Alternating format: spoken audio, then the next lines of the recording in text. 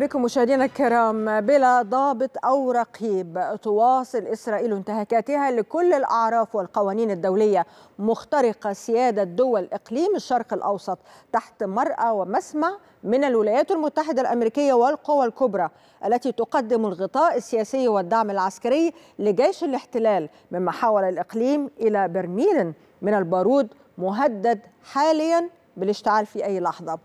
وفيما تخطت الحرب على غزة الثلاثمائة يوم دون أفق للحل. بدت إسرائيل أكثر إصرارا على التصعيد الإقليمي بعدما اتخذت حادث مقتل 12 شخصا في هجوم صاروخي على قرية مجد الشمس بالجولان المحتل. اتخذته ذريعة لمواصلة سياسة الاغتيالات وانتهاك سيادة الدول. الطائرات الحربية الإسرائيلية وصلت إلى ضاحية بيروت الجنوبية لاغتيال القيادي العسكري في حزب الله. فؤاد شكر والذي اتهمته بالوقوف وراء قصف مجد الشمس رغم نفي حزب الله أكثر من مرة ضلوعه في هذه العملية. ودفعت عملية الاغتيال زعيم الحزب السيد حسن نصر الله للتحذير من أن المعركة مع إسرائيل دخلت إلى مرحلة جديدة. لم تكد المنطقة تهدأ بعد غارة بيروت حتى نفذت تل أبيب عملية أخرى عملية اغتيال جديدة كان مسرحها هذه المرة العاصمة الإيرانية طهران حيث استيقظ الشرق الأوسط يوم الأربعاء الماضي على نبأ مقتل رئيس المكتب السياسي لحركة حماس إسماعيل هنية بعد مشاركته في تنصيب الرئيس الإيراني الجديد في انتهاك إسرائيلي جديد لسيادة دول المنطقة. ورغم عدم تعليق تل أبيب بنفي أو تأكيد مسؤوليتها عن اغتيال هنية إلا أن جميع أصابع الاتهام تشير إلى أجهزة الاستخبارات الإسرائيلية خاصة وأن الرئيس الأمريكي جو بايدن اتصل هاتفيا برئيس الوزراء الإسرائيلي بنيامين نتنياهو بعد يوم من الواقعة ليؤكد مواصلة الدعم العسكري وفي نفس الوقت لإبداء عدم رضاه عن إخفاء خطط الاغتيالات عن واشنطن.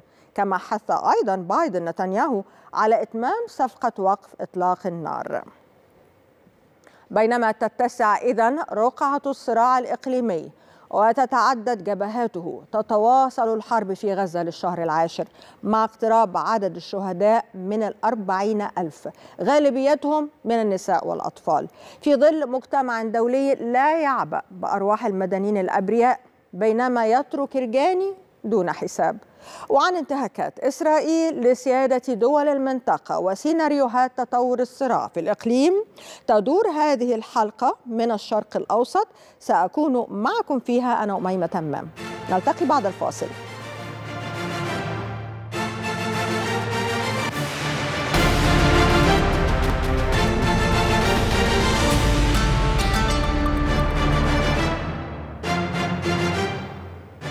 أهلا بكم مجددا مشاهدينا الأسبوع الماضي كان مليئا بالأحداث وبالتطورات المتلاحقة التي من شأنها أن ترفع من وتيرة التوتر في المنطقة وجميعها بأياد إسرائيلية تعمل على انتهاك سيادة دول المنطقة وتقويض الاستقرار. نفذ الاحتلال الإسرائيلي عددا من الاغتيالات التي جاء على رأسها إسماعيل هنية رئيس المكتب السياسي لحركة حماس الذي كان يزور طهران بمناسبة تنصيب الرئيس الجديد مسعود بازشكيان. وإلى جانبه قيادي كبير في حزب الله اللبناني فؤاد شكر. بالإضافة إلى مسؤول إيراني بسوريا. وذلك ليس في غضون أيام قليلة بل في غضون ساعات قليلة. لتشكل خطوة إسرائيلية جديدة باتجاه تصعيد واسع قد يتحول إلى حرب إقليمية وذلك بحسب تقييمات عديدة. أسئلة عديدة نطرحها على ضيوفنا. اذا من القاهرة الدكتور أحمد فؤاد أنور أستاذ الأدب العبري والخبير في الشأن الإسرائيلي. من بيروت النائب قاسم هاشم عضو مجلس النواب اللبناني. من دوسلدورف الألمانية معنا الدكتور جمال نزال المتحدث باسم حركة فتح. وعبر الهاتف من عمان الدكتور أمين المشاقبة الأكاديمي والوزير الأردني السابق. مرحبا بكم جميعا ضيوفي الكرام وأبدأ معك في القاهرة. دكتور أحمد برأيك طالما استخدمت إسرائيل سياسة الاغتيالات هذه ولكنها كانت تستخدمها بوتيرة أقل مما حدث في الفترة الأخيرة زادت بشكل كبير في الفترة الأخيرة تزامنا مع حرب غزة هل هو هروب من أمر ما لتحقيق صورة انتصار وهمية أمام الإسرائيليين أم ماذا؟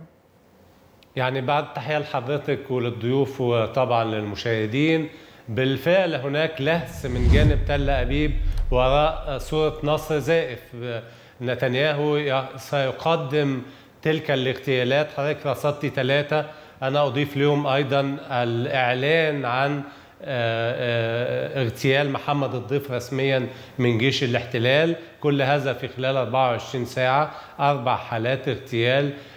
فبالتالي إسماعيل هنية طبعا لم يتم الإعلان رسميا من قبل تل أبيب لكن كل الأصابع تشير إلى أن هناك محاولة لتسويق هذا الأمر على إنه إنجاز لإسرائيل بإن إسرائيل تعرضت للطمه يوم 7 أكتوبر وخلال 24 ساعة استطعنا رد اللطمة. أنا بقول لحضرتك إن الرأي العام الإسرائيلي أغلبه يقول إن صورة النصر هي الإفراج عن المحتجزين والاسرى وليس اغتيال شخصيات حتى ولو كان السنوار نفسه وأن هذه الجرائم سبق وتم تجريبها وأتت بمن هو أشد ضراوة وأكمل المسيرة. اتبع تكتيكات مختلفة أق... أق... يعني أكثر شراسة وحدة وأوجعت الجانب الإسرائيلي. فالأفق السياسي هو الحل العقلانية في التناول هذه الأزمة هو الحل. سماع صوت العقل حينما حذرت مصر منذ 22 2022 كانت في في ديسمبر تحديدا تحذيرات مصرية متتالية من انتهاكات المستوطنين قطعان المستوطنين وجرائمهم في الضفة الغربية. الانتهاكات للقدس حاليا استقرار المنطقة كله على المحك بسبب مثل هذه السياسات وهذه المغامرات الحمقاء. حتى لو كان في صورة نصر أنا بسمي ما حدث عجز النصر لأن بعد نشوة السعادة الشماتة اللي على السوشيال ميديا الفرحة المكتومة هناك حاليا هستيريا في إسرائيل. هناك البحث عن أماكن نعم. توفر الأطعمة ساعة الحرب نعم. مولدات كهرباء إخلاء ثمان مدن تحصين الحدود مع الأردن في الأماكن التي لا يوجد فيها جدار انقطاع الرحلات الجوية فيجب أن يتم الاستماع لصوت العقل قبل فوات الأوان نعم طيب سيادة النائب قاسم هاشم كيف يقرأ إذن الشارع اللبناني هذه الأحداث؟ وخاصة أن الآن هناك حرب قد تلوح في الأفق أو هي بالفعل يعني قد تنشب في أي وقت. كيف يرى الشارع اللبناني هذا التصعيد؟ وما هي يعني آراؤه حول هذه التداعيات التي قد تعاني منها لبنان أكثر فأكثر إزاء أيضا الأزمة الاقتصادية القائمة بالفعل؟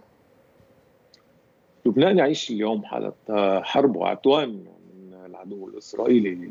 لا شك وما حصل هو اعتداء سافر وانتهاك للسيادة اللبنانية أن يضرب العدو الإسرائيلي ضاحية العاصمة بيروت ويعتدي على المدنيين ويسقط شهداء من المدنيين ويصيب منطقة سكنية. هذا ليس بالأمر العادي. وعلى كل هذه طبيعة هذا الكيان الذي قام بالاساسا أساسا على العدوان ومنذ 76 عاما وهو يمارس أبشع الجرائم.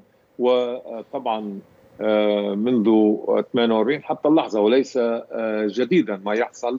في غزة وفلسطين وكل المنطقة وطبعا كما تفضل زميلنا هذا العدو يحاول أن يأخذ المنطقة كل المنطقة إلى ما هو أوسع وأشمل مما هو اليوم ليستثمر أكثر على هذا الاحتضان والدعم الدولي نعم. اللبنانيين اعتادوا على الارتكابات الإسرائيلية وعلى هذه الممارسات منذ أن قيام هذا الكيان وبدأت المجازر منذ عام 48 أولى المجازر في بلدة حوله الجنوبية اللبنانية. ثم تكررت الاحتلالات يوما بعد يوم إلى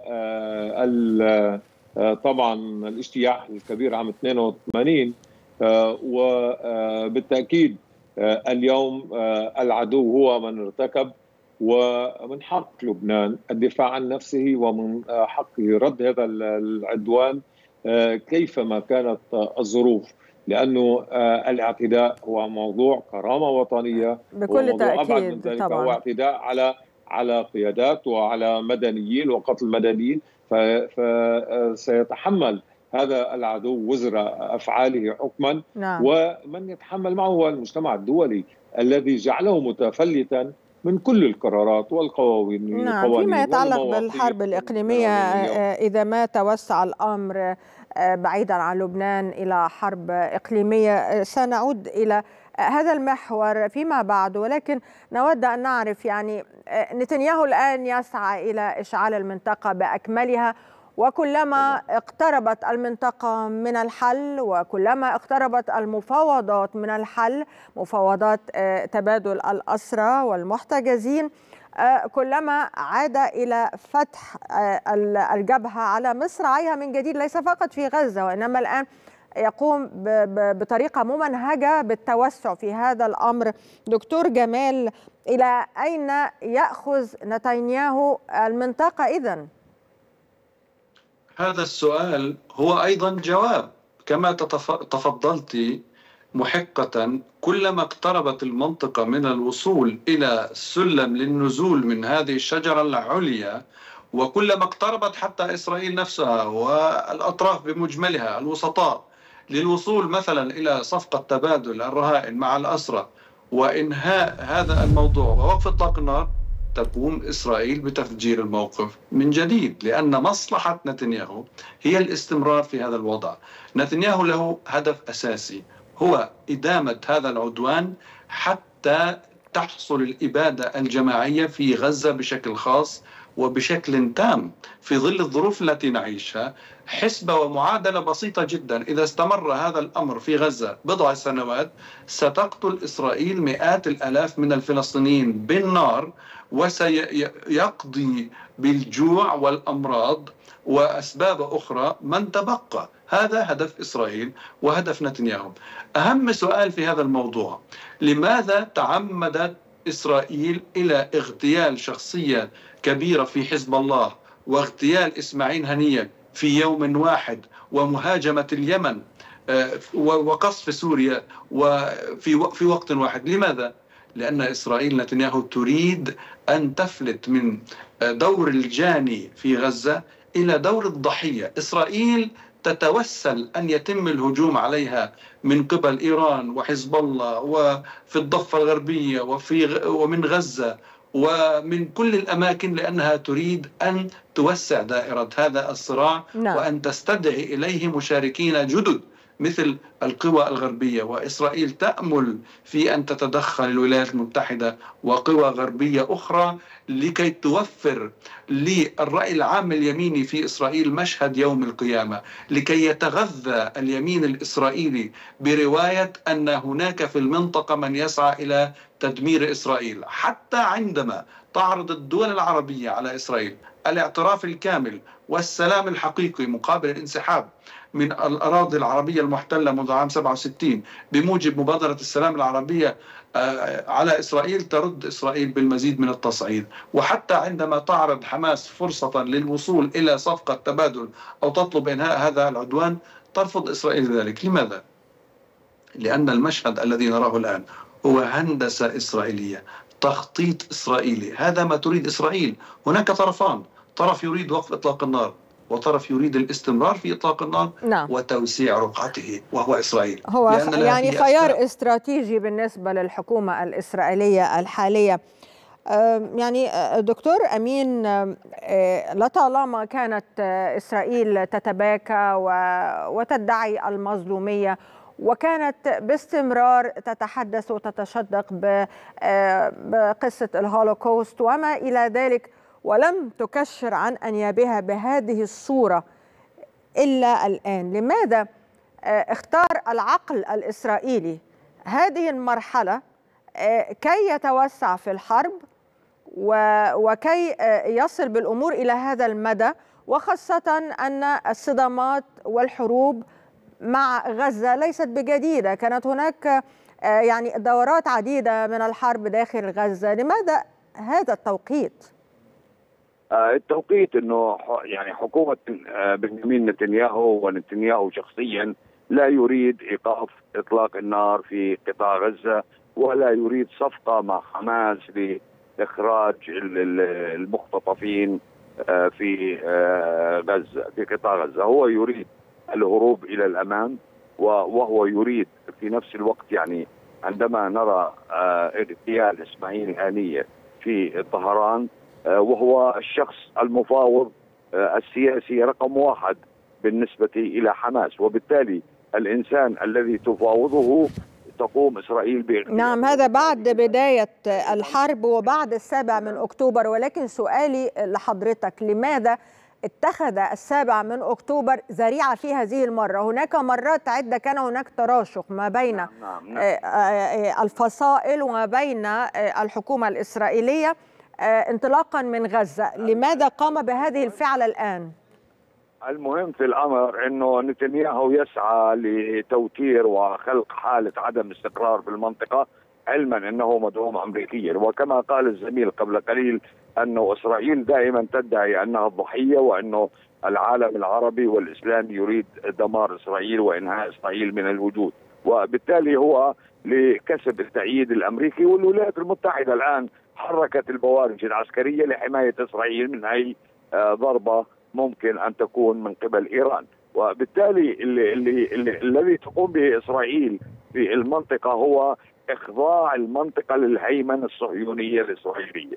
وبالتالي هي محاولة للسيطرة على المنطقة وبالتالي تصفية القضية الفلسطينية بشكل نهائي على أساس إنه التطبيع مقابل التطبيع وهي لا تريد قيام دولة فلسطينية مستقلة على تراب الأراضي التي احتلت عام 67 وبالتالي المسعى الاسرائيلي هو تصفية القضية الفلسطينية بأي شكل من الأشكال إبادة جماعية داخل قطاع غزة ومحاولة تهجير هؤلاء السكان الذي يزيد عددهم عن 2 مليون مواطن من قطاع غزة لتفريغ منطقة غزة وجعلها منطقة غير صالحه للسكن وبالتالي عندما يدمر 80% من المساكن بالإضافة إلى البنى التحتية داخل قطاع غزة، اذا هدف إسرائيل هو إبادة نعم. جماعية للشعب الفلسطيني. وهذا ما يبدو جليا أمام العالم والعالم يتابع يعني هذه التفاصيل بصمت بكل أسف.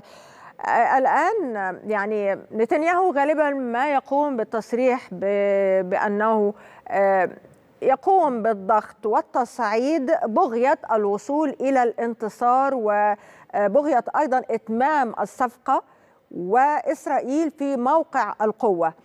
هل بالفعل هناك انتصار يسعى إليه نتنياهو؟ هل نتنياهو السؤال الأهم هل نتنياهو يريد عقد هذه الصفقة دكتور أحمد؟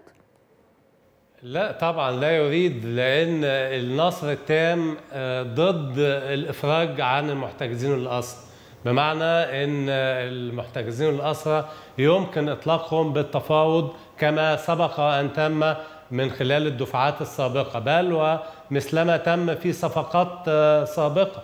فنتنياهو يخلط الأوراق. مثلما يتزرع بمجد الشمس. عايز أوضح في عجالة إن مجد الشمس ضد الاحتلال. مجد الشمس ضد التجنيد في جيش الاحتلال مجد الشمس ضد الحصول على جنسية إسرائيلية. فالزعم بأن هناك استهداف ليها أعتقد أنه مجافي للمنطق. ده أمر. بالنسبة للهالة اللي إسرائيل تحاول أن تروج لها بأنها يمكنها أن تطال اليمن يعني الرواية الإسرائيلية أن الطائرات انطلقت من جنوب إسرائيل ليست مؤكدة. من الممكن أن تكون انطلقت من القرن الأفريقي وإن التزود بالوقود أمر غير مبهر في واقع الحال بل ويمكن أن يكون طرف ثاني هو الذي ضرب. نفس الأمر بالنسبة لاستهداف طهران. فهذه الهالة من المثير للسخرية أن تكون ضاغطة على المفاوض الفلسطيني. سبق وأن تم اغتيال قيادات في المقاومة الفلسطينية وتم استكمال المسيرة. فحاليا هناك هستيريا في إسرائيل خوفا من الرد. هناك دخول لخان يونس وعودة إلى خان يونس دخول إلى شمال القطاع وخروج من جباليا. فهذا يدل على الفشل بأنني لم لم أتم المهمة رغم زعمي بأننا سيطرت على كامل القطاع. النهارده بضرب بالقوات الجوية لجيش الاحتلال في الضفة الغربية. فأين هي السيطرة؟ أين هو الحلول الأمنية التي تخضع الإرادة الخاصة بالمقاومين وتجعلهم يرفعون الراية البيضاء؟ نعم. أعتقد أن المسار بدأ اليوم في القاهرة أتى وفد أمني إسرائيلي وهناك مفاوضات أتمنى أن نتنياهو لا يضع العراقيل أمامها كما فعل في المرات السابقة حينما وضع عراقيل وشروط تعجيزية وأيضا سياسة الاغتيالات التي بدأ يعني يعتمدها حلا للمشاكل التي تزيد في المنطقة ولا تقل بسبب حماقات. سيتبين هذا بالفعل نتائج هذه الجولة أو هذه المرحلة من هذه الجولة من المفاوضات المستمرة والتي لم يتوانى مصر حقيقة عن العمل عليها تحت ضغط كل هذه الظروف وهذه التغيرات وهذا التصعيد وما إلى ذلك. ولكن سيتبين في الساعات القادمة وربما في الأيام القادمة. الآن سيادة النائب يعني حزب الله اللبناني نفى بأنه كان وراء حادث مجد الشمس وإطلاق الصواريخ على مجد الشمس ومع ذلك قامت إسرائيل بانتهاك السيادة اللبنانية. في هذه الحالة كيف يرى الشارع اللبناني رد الفعل الإسرائيلي وما هي تصورات الشارع اللبناني عفوا ما هي تصورات الشارع اللبناني في الفترة المقبلة وعما يتحدث في هذا الصدد؟ آه لبنان لا يتعاطى مع ما حصل من عدوان على انه رد فعل ابدا لأنه ما حصل في مجد الشمس هو اعتداء وإن كان مدبرا من قبل هذا العدو. هذا تاريخ هذا الكيان. ومن يعود بالذاكرة إلى عام 82 يوم اجتياح بدأ اجتياح لبنان.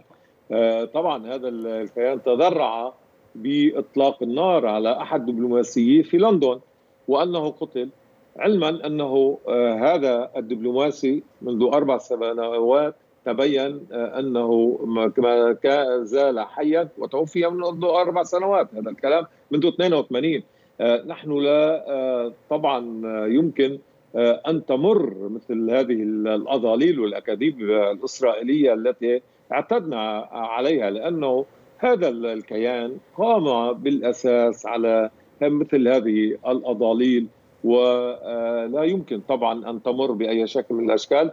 ما حصل في مجد الشمس هذه طبعا البلدة العربية السورية وهي عاصمة الجولان المحتل. طبعا تفضل أحد الزملاء بالبداية نحن نعرف تماما أهلنا في مجد الشمس ونحن جيران وعلى مناطق متقابلة عبر التاريخ وقبل احتلال مجد الشمس نعرف أهلها وعروبتهم وتمسكهم بهويتهم العربية السورية. طبعا هذا الكيان حاول أن يجعل من ارتكابه ذريعة لأكثر من سبب وأن يصل إذا ما استطاع لذلك أن يخلق فتنة ما لكن طبعا أهلنا في مجد الشمس والمكونات الاجتماعية فوتت الفرصة على طبعا هذا الكيان وعلى رئيس حكومة هذا الكيان بالذات. ولكن طبعا كان ما كان واللبنانيون كل اللبنانيين بمستوياتهم الرسمية والشعبية المقاومة تعتبر ما حصل عدوان وانتهاك للسيادة ولا بد من أن يكون هنالك طبعا رد على هذا العدو لأنه اعتدى علينا بهذا المستوى على مستوى من اغتال وعلى مستوى استهداف المدنيين وقصف ضاحية العاصمة بيروت.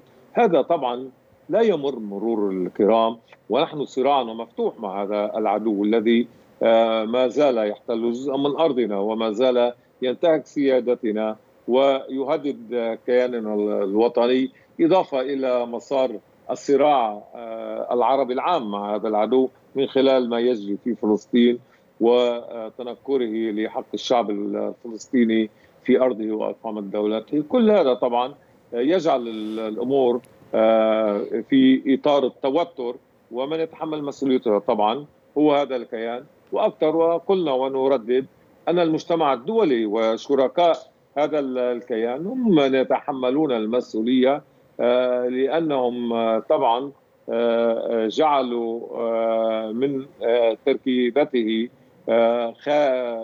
إطار كياني خارج المساءلة والمحاسبة مما طبعا جعله خارج التزام نعم. أي مواثيق وقرارات وقوانين دولية. ولهذا نعم. رأينا ما رأينا من ارتكابات في كل مكان من لبنان إلى سوريا صحيح إلى بالفعل. طهران إلى توطير وتهديد صحيح سيادة النائب. الدوليين بشكل عام. صحيح سيادة النائب. طيب يعني إحنا يعني الآن أمام مشهد يحبس فيه العالم أنفاسه في انتظار الرد الإيراني الذي توعدت به إيران دكتور جمال. والآن العالم في انتظار هذا الرد ولكن التبعات قد تكون كبيرة. كيف ترى هذا الرد في الساعات أو الأيام القادمة دكتور جمال؟ يعني الأخبار تشي بما سيحدث وإيران أعلنت أنها سترد وسيكون هناك حسب المتوقع والمتداول على الأقل في الأخبار أكثر من أرض لانطلاق هذا الهجوم الذي تتحدث عنه الأطراف التي تحدثت عنه. إسرائيل تريد أن تنقل هذا النزاع من نار مسيطر عليها إلى حرب غير مسيطر عليها لأن إسرائيل تجيد السباحة في هذه المياه. ولا تحب أن تستمر المواجهة مثلا مع حزب الله بمنطق لاعب الشطرنج حيث حزب الله حتى الآن نجح في المحافظة على إدارته لهذه المواجهة بطريقة الاحتكام إلى العقل وبطريقة الاحتكام إلى ما يسمى قواعد الاشتباك. وإسرائيل تريد أن تحيد العقل كعنصر من عناصر هذه المواجهة حتى يفقد الأطراف الذين يواجهون إسرائيل في الضفة الغربية وفي غزة وفي لبنان أو في إيران قدرتهم على السيطرة على هذا الوضع. عندما تتدخل قوى عظمى لصالح إسرائيل كي تتبوأ إسرائيل مكانة الضحية وهي التي يمارس الإبادة الجماعية ضد شعب أسير وهي التي تمارس العدوان على لبنان إذ هي تحتل ارضه وتمارس التحرش الميداني المستمر حتى ضد إيران لأن إسرائيل معنية باستدراج إيران إلى مواجهة مفتوحة بدل المواجهة المقيدة أو المنضبطة نعم. التي تجري حتى الآن اذا إذا ما إسرائيل. قامت إيران بالالتزام بقواعد الاشتباك هذه وبضبط النفس وبالرد في إطار معين ليس من شأنه أن يعني يساعد في توسيع دائرة الصراع في الإقليم، هل في هذه الحالة إسرائيل ستقوم بالتصعيد وبجر إيران أكثر فأكثر وفي هذه الحالة كيف يكون الرد الإيراني؟ هل ستفقد صبرها إيران في النهاية؟ أم ماذا؟ يعني دكتور أمين ما هي رؤيتك في هذا الشأن؟ يعني أنا أعتقد إنه الضربة لقوى المقاومة إن كان إيران أو حزب الله أو حتى أنصار الله الحوثيون لإسرائيل ستكون ضربة محدودة وتسعى إيران لعدم يعني الانزلاق كما تريد إسرائيل بحرب مفتوحة طويلة المدى. وبالتالي ستكون الضربة محددة لمواقع معينة داخل إسرائيل وربما تكون هذه الضربة مؤلمة وقاسية كما يقول الإيرانيون. التأثير الأكبر في أي ضربة هو من حزب الله. وذلك بسبب قرب المناطق مسافة. من جنوب قرب المناطق من جنوب لبنان تجاه شمال إسرائيل. وبالتالي التأثير الأكبر أعتقد إنه استخدام حزب الله السلاح القوي ضد إسرائيل. وهذا ولكنه سلاح يعني ذو حدين. بالتأكيد بالتأكيد بالتأكيد. لأن لهذا لهذا الاسلوب تبعات أيضا. إسرائيل لا تستطيع أن تعيش طيلة الوقت في حروب مفتوحة.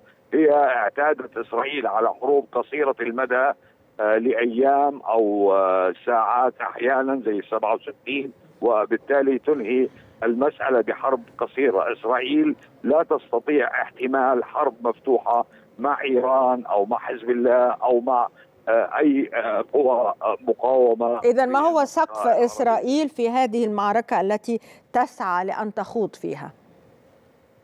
يعني اللي أقوله انه إسرائيل إسرائيل ك يعني كجيوسياسيا من نواحي جيوسياسية لا تتحمل أن تكون هناك حرب طويلة المدى، لاحظنا الحرب العشر أشهر في غزة ماذا فعلت في الكيان الإسرائيلي؟ نعم هذا فيما يتعلق بطول المدى ولكن من ناحية التعمق في الحرب أو على الميدان يعني ما هو سقف إسرائيل في مسألة الخوض في هذه الحرب؟ يا ستي إنه إحنا بنقول إنه إسرائيل ست يعني لن تقف مكتوفة الأيدي، كذلك الأمر إيران لن تقف مكتوفة الأيدي، لكن إيران لا تريد أن أن تتسع نطاق الحرب لتكون حرب مستمرة بين إيران وإسرائيل لأن الولايات المتحدة متحضرة للدفاع عن إسرائيل بالبوارج العسكرية والطيران وقال اليوم وزير الدفاع الأمريكي نحن اللي يعني وجودنا العسكري في شرق البحر الأبيض المتوسط هو لحماية أمن إسرائيل نعم. وبالتالي اللي, اللي نقوله الآن حتى موضوع إرسال الوفد المفاوض الذي انسحب اليوم. عاد وصل إلى القاهرة ورجع في نفس الساعات إلى إلى تل أبيب بسبب بسبب إنه خلاف مع نتنياهو في القضايا التي فوضوا نعم. فيها. يعني عندما وصل الوفد إلى القاهرة تراجع نتنياهو عن التفويض الذي أعطاه وبالتالي عاد الوفد. وبالتالي إسرائيل لا تريد لا تريد مطلقا أن تكون هناك صفقة بوساطة القاهرة أو بوساطة قطر. لا تريد صفقة ولا تريد إخراج الموقوفين. نعم وهذا الخلاف بين نتنياهو والوفد المفاوض له منذ أيام وليس هو بالجديد اليوم بالفعل. ولكن الآن هناك تقارير إعلامية تقول بأن الرئيس الأمريكي جو بايدن كان في قمة الاستياء من العمليات التي قامت بها إسرائيل فيما يتعلق بالاغتيالات في الأيام الماضية وكان هناك نقاشا حادا بين جو بايدن وبنيامين نتنياهو. في ولكن في ذات الوقت هناك بوارج وما إلى ذلك في شرق المتوسط. يعني كيف تقرأ دكتور أحمد الموقف الأمريكي في هذا الصدد وخاصة إذا ما قامت إيران بالرد؟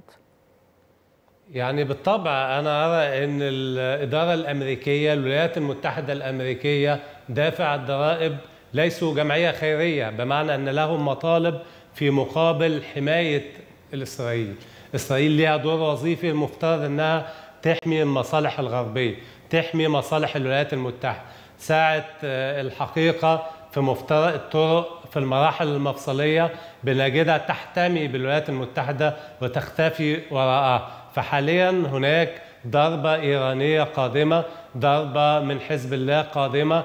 أعتقد أنها ستكون موجعة لكن جميع الأطراف لا ترى أن هناك حاجة أن يجب أن الجهود تتكثف بحيث أن يتم منع انزلاق الأمر إلى مرحلة الحرب الإقليمية ليه؟ لأن الدب الروسي في المياه الدافئة موسكو لديها شبه اتفاقية دفاع مشترك مع طهران التي ترى بأنها تعرضت للطمة موجعة إهانة بالغة. حينما تم المس بالقنصلية في سوريا تم كسر حاجز نفسي باستهداف مباشر من من إيران لإسرائيل. حاليا تم المس بضيف رسمي في عرس سياسي يوم تنصيب الرئيس الجديد بعد إسقاط المروحيه أو سقوطها لعل اللغط يزيد من جديد حول ملابسات سقوط هذه المروحيه فأعتقد إن دافع الضرائب الأمريكي سيراجع نفسه سيراجع الإدارة الأمريكية خاصة وأن هناك مصفوفات بالفعل داخل الإدارة الأمريكية ترى بأن المصالح الأمريكية على المحك في المنطقة. وبالتالي يجب الضغط في الاتجاه الصحيح على نتنياهو وأرى بأن ال ال الإعلام الذي تحدث عن توبيخ من من الرئيس الأمريكي إلى رئيس الوزراء الإسرائيلي يجب أن يكون له دلالاته. وبالتالي هناك يجب أن تكون هناك مراجعات في تل أبيب لتجنب الانحدار نحو هو صحيقه يعني ممكن الحرب تندلع أيضا عن طريق الخطأ. تفسير تحرك ما ضربة مهينة إلى تل أبيب تقابلها ضربة أخرى وندخل في دائرة دوامة من التصعيد. نعم. صحيح. آه آه طيب آه الآن آه نجد بأن آه الدور آه الذي من الممكن أن تلعبه الحكومات والدول العربية في المنطقة وأيضا إقليميا على المستوى الإقليمي في إطار التصعيد. يعني أريد أن أسمع منك سيادة النائب كيف يعني ترى بأن هذا الدور ينبغي أن يكون؟ يعني اليوم كل ما يقال حول ما يمكن أن يجري في المنطقة هو من باب التكهنات والاحتمالات. ليس إلا لأنه ليس من أحد يملك كل المعطيات. ظروف الميدان هي التي ستحكم في النهاية. لأنه يبدو أن رغم كل ما قيل حول تحرك دولي أو اتصالات ومشاورات وما إلى ذلك إلا أنها يبدو لم تكن ذات جدوى حتى الآن أو لو لم تكن جدية على نعم. الأقل. وهذا ما واضح عندما يتحدث كما تفضلت أن الرئيس الأمريكي مستاء وما إلى ذلك وتتحرك البوارج الأمريكية وتصل إلى المضيق. ماذا يعني؟ هذا التحرك وكيف يمكن ترجمته. هذه أسئلة أسئلة طبعا تفتش عن اجوبه الأجوبة عند من لديه القرار لأنه في النهاية لابد إذا ما كان هنالك نيات سليمة لدى هذا المجتمع الدولي وأصحاب القدرة على التأثير على هذا الكيان من اتخاذ مواقف سريعة لكي لا يبقى هذا التفلت وإلا يكون كل هذا الكلام في إطار ضر الرماد في العيون وإعطاء الضوء الأخضر نعم. كيفما يكون وكما يقال من تحت الطاولة لنتنياهو ولمستوياته نعم. السياسية والعسكرية لطبعا متابعة ما لديه من طبعا مغامرات حتى الآن. مفهوم. طبعا قد تأخذ المنطقة إلى حرب واسعة وشاملة. وهذا ما لا يتمناه أحد حتى بالفعل. الان لم يتبين مداها ولكن في لحظة معينة قد تتفلت الأمور دون نعم. القدرة على احتوائها في في في لحظتها. وطبعا الأمور تؤخذ من البدايات وليس مفهوم مفهوم طبعا. مفهوم. نقول لقد سبق السيف العزل. الإدارة الأمريكية تستطيع اتخاذ القرار لا أحد يستطيع أن يقنعنا أنه لا يستطيع أن دوامة حقيقية. نعم منذ أشهر طويلة اقتربت من السنة. طيب الآن دكتور جمال غزة توارى الحديث عنها وأصبحت يعني هي غير منسية ولكنها لم تعد هي بؤرة الأحداث. في إطار هذا التصعيد في المنطقة. ولكن البعض يرى بأن غزة إذا ما سقطت سوف ينفرط العقد. هل هذا حقيقي؟ هل بالفعل إذا لم تحل قضية غزة والقضية الفلسطينية لن تحل قضايا المنطقة؟ بس وضحي لي ما معنى كلمة سقوط غزة بمفهوم حضرتك عشان أجاوبك مظبوط. يعني إذا ما استطاعت إسرائيل مثلا أن تدخل غزة وتقوم بحكم غزة في اليوم التالي وبالخطة التي المعروفة التي تضعها إسرائيل والتي ليس لا تعد سرا. هلأ نحن دائما نقول نتكلم عن المستقبل يعني.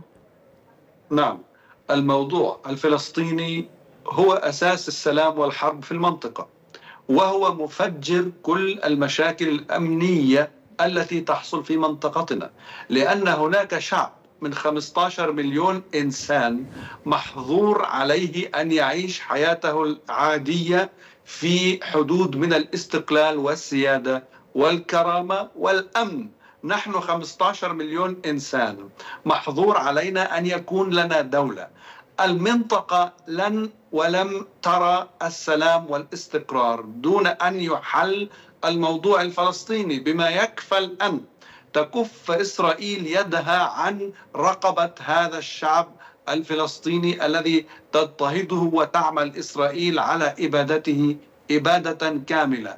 طالما أن هذه النار مشتعلة في فلسطين سيصل لهيبها بين وقت وآخر إلى الدول العربية. ودول الجوار الغير عربية. ونحن الآن نتكلم عن حرب قادمة في منطقة موجود فيها حرب أصلا. وستطير المقذوفات الإيرانية فوق الأراضي العربية وتطير المضادات الإسرائيلية فوق أراضي عربية. العالم العربي ولم نتحدث كثيرا عن دور العالم العربي سيكون بين نارين وفي النار هو نفسه. لذلك الحل هو وضع حد لهذا الصراع المميت عن طريق اولا عدم إعطاء إسرائيل أي جوائز على قتل الفلسطينيين. حرمان إسرائيل من علاقات طبيعية مع الدول العالمية والعربية في ظل هذه الجرائم غير المسبوقة التي نراها. وقد تفضلت محقة في الإشارة إلى أن غزة أصبحت في العناوين الخلفية يحدث إبادة جماعية في في بلادنا في بلاد العرب في فلسطين ويهبط هذا الحدث إلى المرتبة الثانية أو الثالثة. شعب يباد إسرائيل تقتل يوميا العشرات إن لم نقل المئات. وها نحن نرى إسرائيل عندما تريد أن تغتال شخصية مثلا من أي فريق كان من حزب الله أو حتى هنية في في في طهران أو العروري رحمه الله تستخدم قنبلة واحدة أو صاروخ واحد. لكن في غزة تستخدم قنبلة وزنها 2000 كيلو جرام لكي تقتل أكبر عدد ممكن من الأبرياء. هذا هو ما يحدث. هذا هو الشيء الرئيسي حتى لو كان الاستهداف أحد عناصر المقاومة دكتور جمال فإنها تقوم بالفعل باستخدام هذا الكم من القنابل للقضاء على شخص واحد ومعه المئات. طيب يعني هل هل التعزيزات العسكرية في هذه الحالة في المنطقة تعطي الضوء الأخضر ضمنيا لإسرائيل للمضي قدما في هذا التصعيد أم أنها توجد فقط كإجراء احترازي في حال كان الرد الإيراني ردا قويا بقدر ما نسمع من تصريحات. الشيء الشيطاني في هذه الحبكة هو أن إسرائيل تبيد شعب وفي نفس الوقت تستنجد بدول غربية وتستدعيها إلى صراع لا ناقة لها فيه ولا بعير باعتبار أن إسرائيل هي ضحية كل هؤلاء العرب الهمجيين والمسلمين العنيفين الذين يريدون أن يبيدوا إسرائيل المسكينة. تصور نفسها بأنها هي نعم الضحية دور دور الضحية باستمرار. نعم. طيب دكتور جمال لأن الوقت أوشك على الانتهاء أود أن أسمع من الدكتور أمين والدكتور أحمد بعض النقاط في نهاية هذه الحلقة.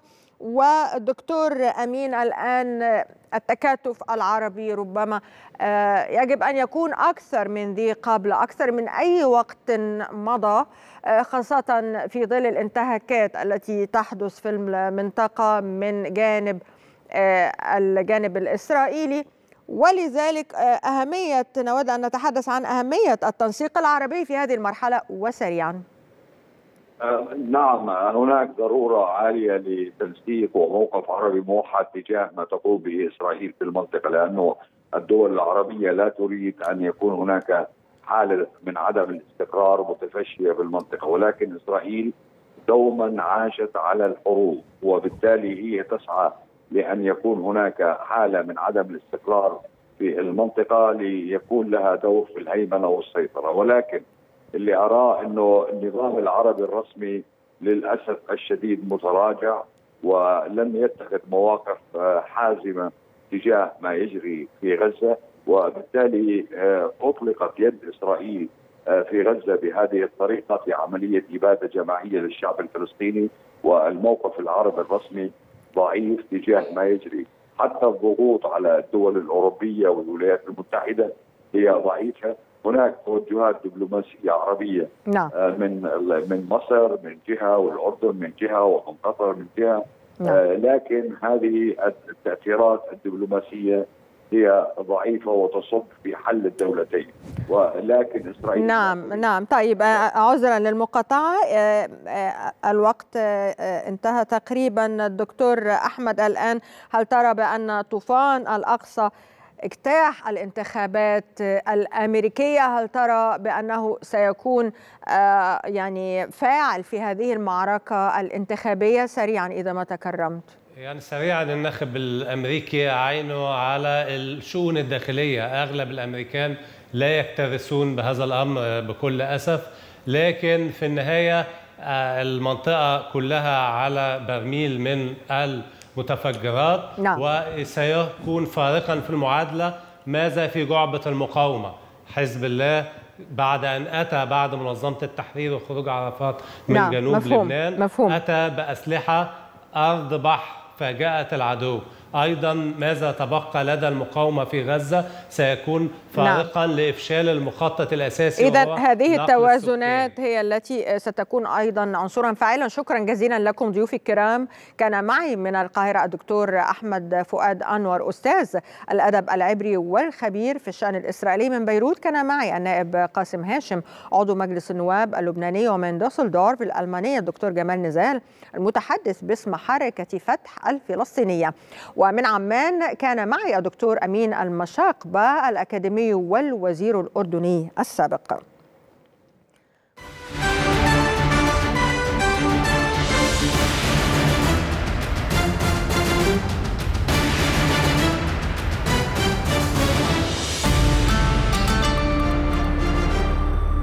في النهاية ولأنهم ليسوا أرقاما فكل رقم كان إنسانا له حياة وذكريات وقصص وأحلام وضحكات وآلام. كانوا بشرا على قيد الحياة. نعم إنهم شهداء غزة واليوم نتذكر معا الشهيدة جمان فهيم حسنين. فقد كانت جمان المتفوقة الأولى على صفها بلا منازع والحاصلة على دورات عديدة وحافظة للقرآن الكريم كما أنها حصلت أيضا على حزام الكاراتيه الأخضر.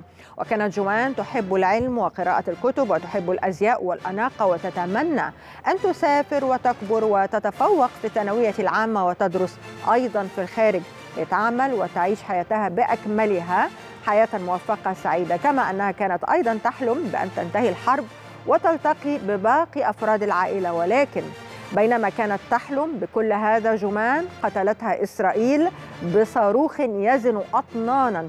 مسح العائلة بأكملها فاستشهدت جمان معهم.